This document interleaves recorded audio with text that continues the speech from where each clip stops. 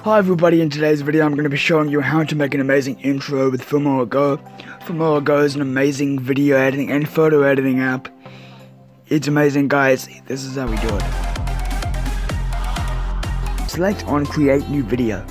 Up next you want to press on photo, screenshots, add the background. Click next.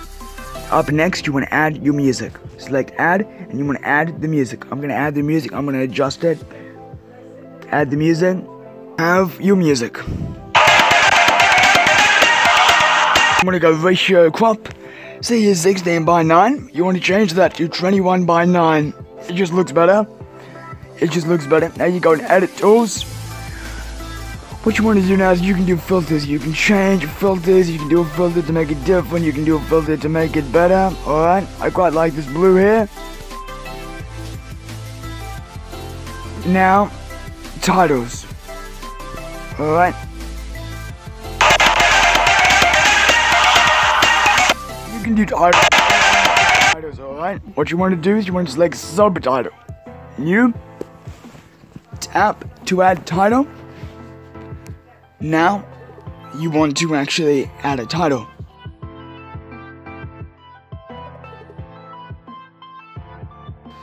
Once the subtitle has been added, select font. Choose a font that you like. I quite like this font.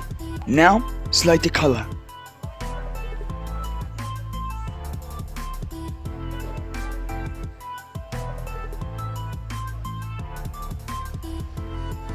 Select red. I'm selecting red. Now you select OK. You've got your intro here. You've got your the partial of your. You go here.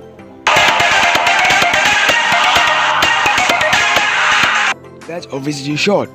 So you want to extend it, I like on point one, and then end it at about point uh, 4.8.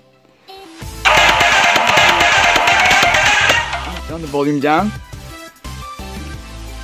We're gonna do typo. Alright? So this is your intro at the moment. This is this so this is your intro with the music. Turn the music up. Let's have a look.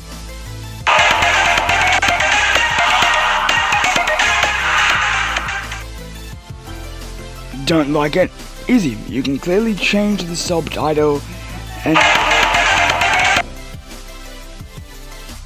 so you can see I've now changed this.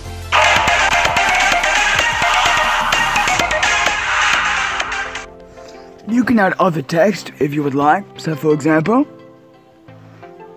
you can press on the add and you can actually add more text. Tap to my title and we can actually edit this to add something else.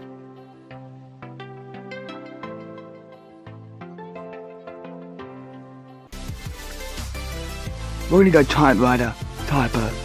So we're gonna go this and we're gonna select OK. Have a look at our intro now.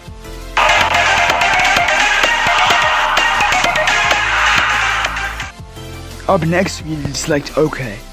Then, you need to select on save. Now, you will be saving your project. Now, save to camera. Now, it has been saved. Thanks for watching this video. Hope you enjoyed. If you did, thumbs up, share, and don't forget to subscribe.